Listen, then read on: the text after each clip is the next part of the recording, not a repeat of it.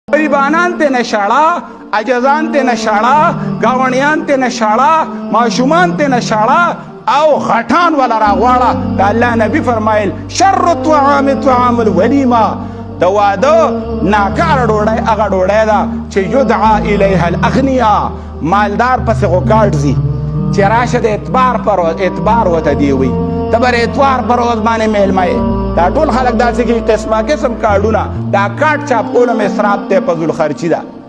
دا هم فضل کار دی کارت پکې نشته نو هغه به د اعتبار پر ورځ باندې راځي او عام خلک چې کم د قبر کني کم د په قبر خور اړي کم د کټ لو ګور کوي کم د په غم خاده کې پکاريږي ناغه په لومبه ورځ باندې بټي خوري زیبا او هغه چې کم دغه داز مو سیزن د جمی مون سره د ګرمه په مقابله کې زیات ودونه دا په دې جمی کې کیږي کی نو خه خبره دا کیږي دی خدا الله او د رسول د احکاماتو په کې خیال ساتل پکار دي په دې ودونو کې خلک دا خیال ساتي چې کاکا خپه نشي بابا خپه نشي د خو زمونږ نیا خپه نشي اخو زمونږ لالا خپه نشي دا ټول خبرې خلک ګوري د خلکو د خفقان خو دې خبرې ته خیال پکار دی چې زمونږ نه الله خفه نشي او زمونږ نه رسول الله صلی الله علیه و آله وسلم خفه نشي په داسې طریقه باندې ودونه او رشته پکار دي چې هغه طریقه د هندوانو خو نه کنه هغه طریقه د دین د دشمنانو خو نه کنا هغه طریقه د رسم و رواج او د بدعات خو نه کنا سنه سد سنت او د رنگ پکار د صبغت الله پزان باندې د الله پاک هغه رنگ چه دی دا په دې غم او په خاده کې ښکارا کول او سرګندول خو پکار دی لکه دا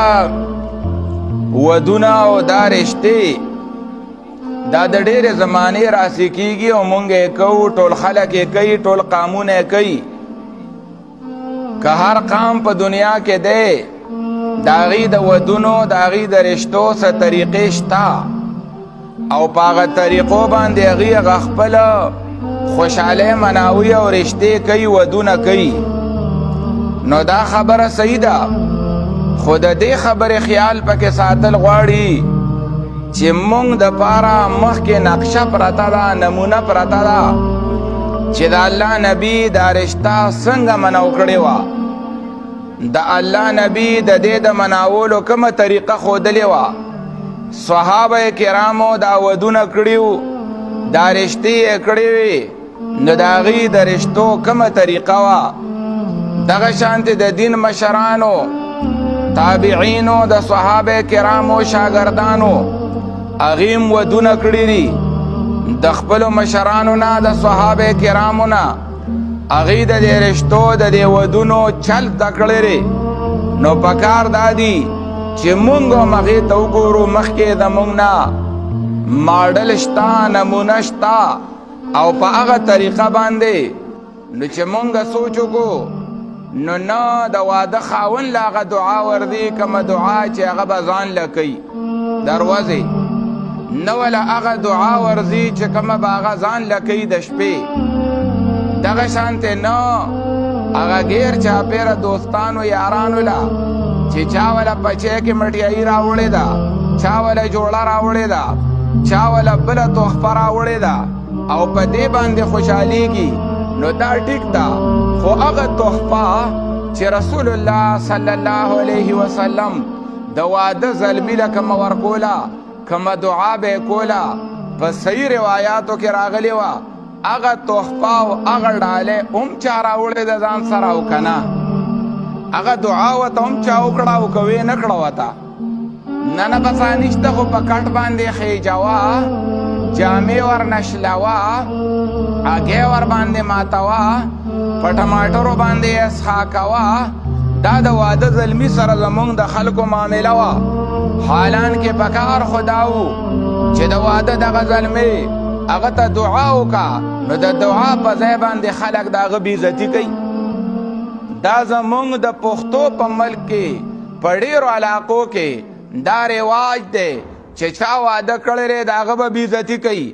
هغه له په سر باندې هګۍ ماتوي هغه له په سر ټماټر ماتوي هغه به په چکړو باندې څښاکي هغه به په تارکولو باندې څښاکي حالان کې مسله دا ده چې د دې عزت وکا د ک په یوې ز اوچت ځای باندې کین نو دا بخی د تک دواو کې نو دا بخی د سره ک مینو کې نو دا بخی دا د واده د خاون احترام د چې پکار د مونږ او تاسو لا خو زمونږ په معاشره کې داغه بی عزتی کیږي دوا خو دوا دعا خو دوا چې چا مثال نکاح شوی دی نو هغه ته دا دعا پکار ده چې بارک الله لک وبارک الله علیکما وجمع بینکما فی خیر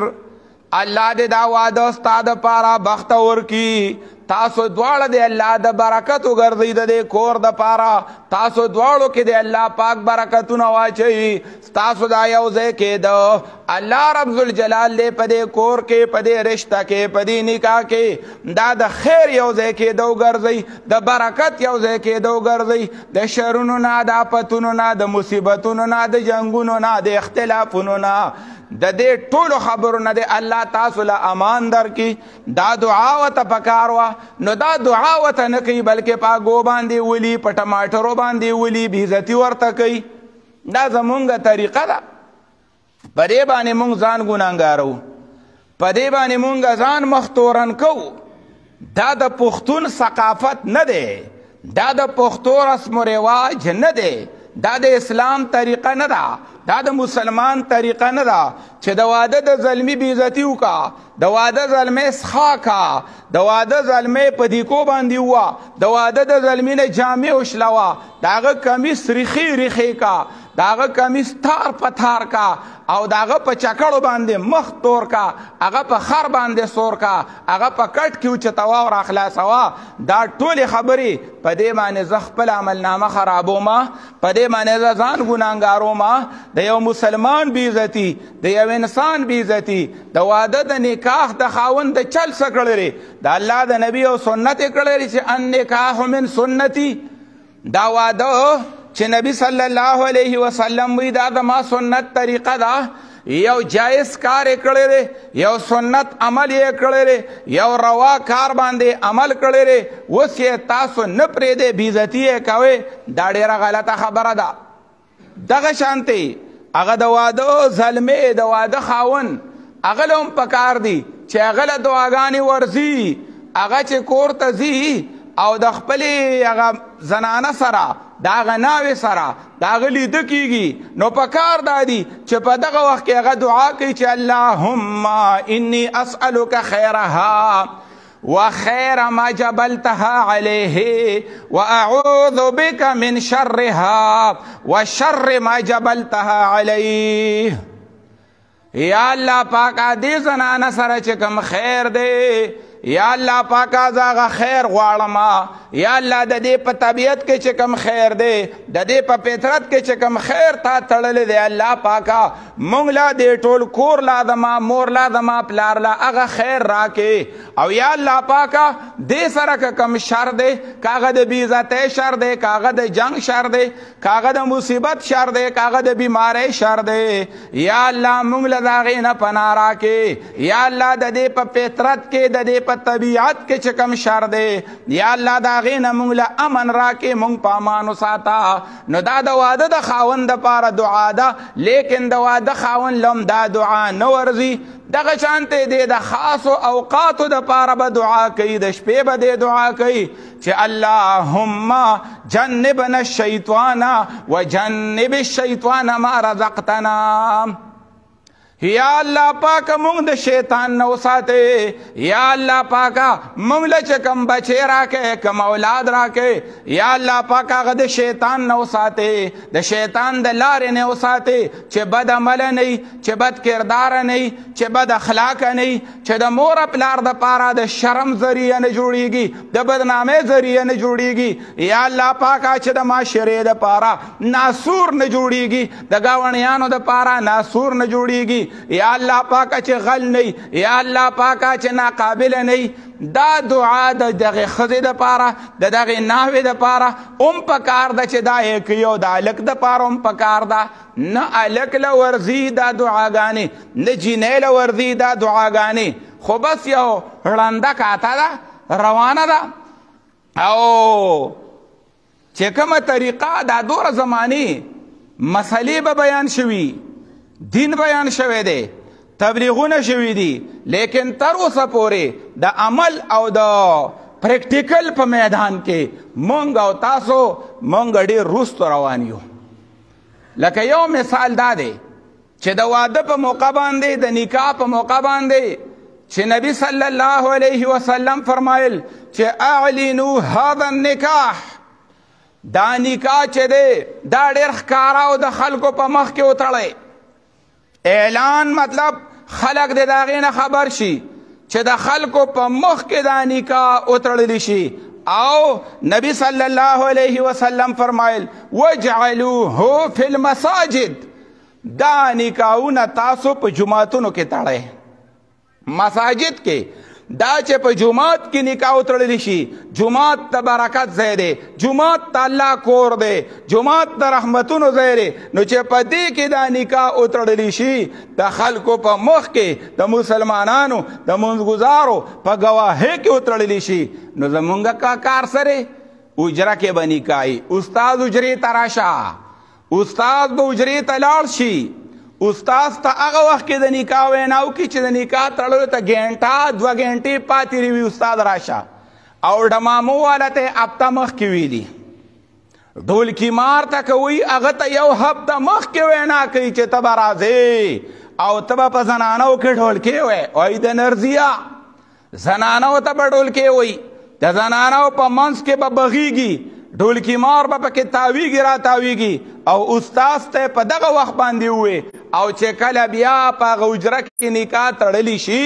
او ال تلس پنځل لستانه ناشتي نو بیا وی وی زه را پاسه استاد دغه اپل کمرې ته بلړ شو په هغه حجره کې بیا ځان له یو خلوت خانه یو وړه غوندې کمره نو په هغه کمره کې به بیا نکاح تړلی شي یلکه د سنت او د رسول الله صلی الله علیه وسلم د حدیث مبارک خلاف ته وکاو یو د دا خلاف وکاو چې دا په جمعات کې تړل پکارو نو اجرې ته دی وړو بل د دا خلاف کو چې اعلنو د غنې په مخ کې تړل پکارو نو د غنې نه دی وړو اغل ته کوټ ته دی وړو کوټې ته دی وړو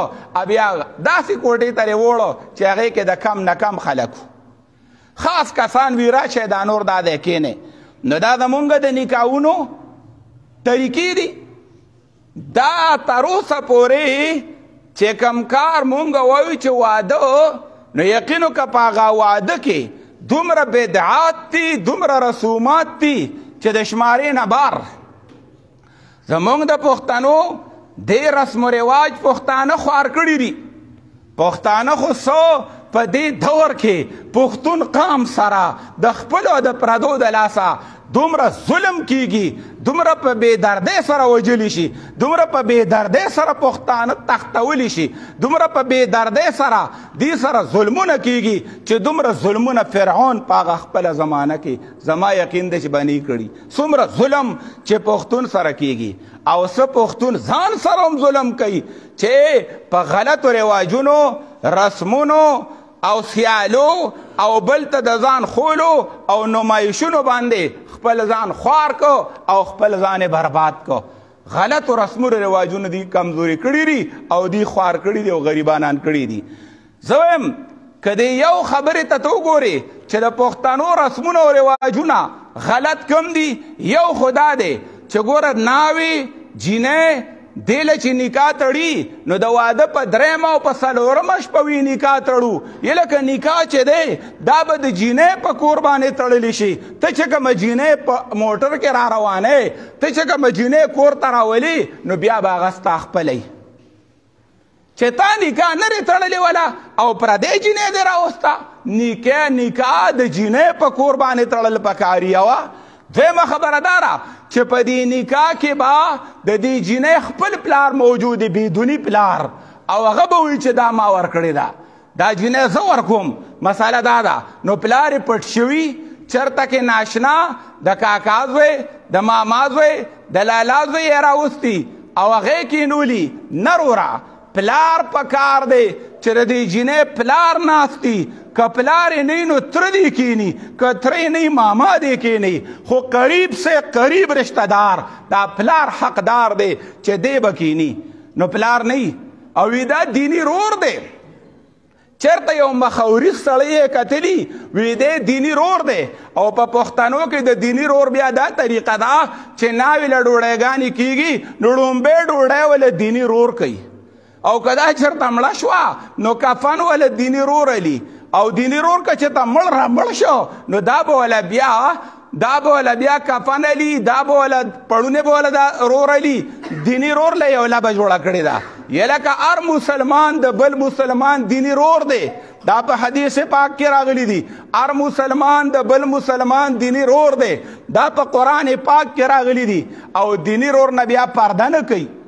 تا راته چا ویلو چې دا پکې دیني رور دی نه پلار به کینی لا نکاح الا بولین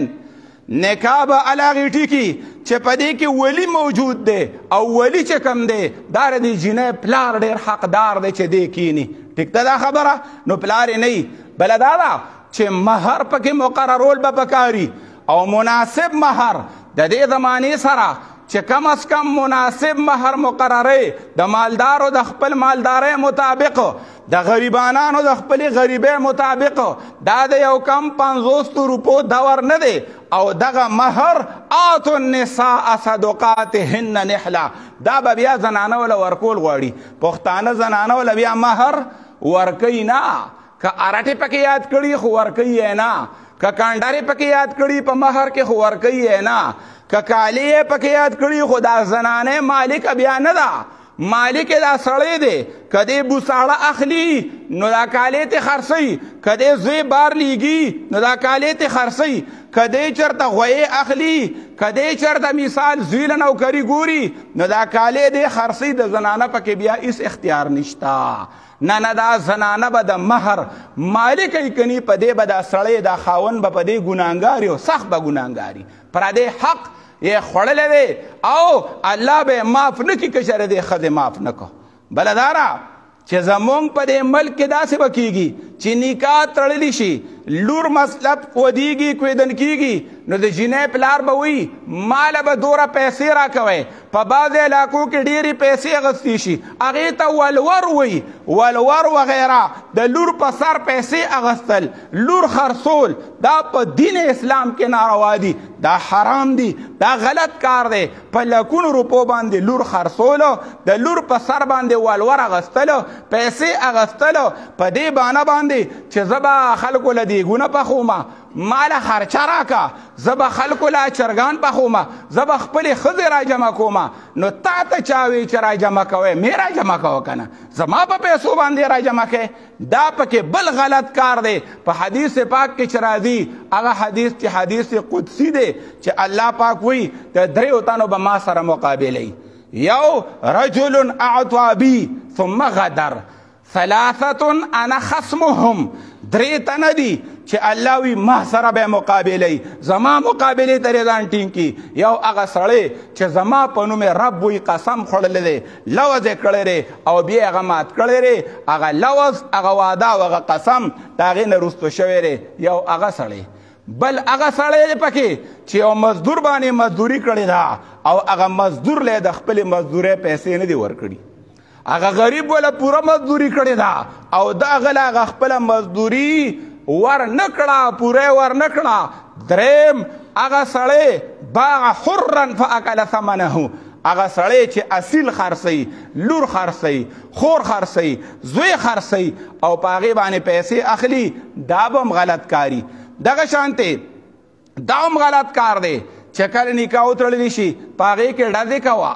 یله کدا ډزې کولو دا خو اسراف دی دا خو پزول پیسې لګول دي په دې باندې په خپل خوشاله باندې مریضانو له درد ورکې په کورونو کې بیماران دي غي خپکه په دې خپل خوشاله باندې په دې کورونو کې ځړمن خلک دي هغه له ولې دړ ورکه بډاګان دي دا کارتوس او دا پیسې دا د یوې کونډې لوپټه جوړې دي شي دا پزړ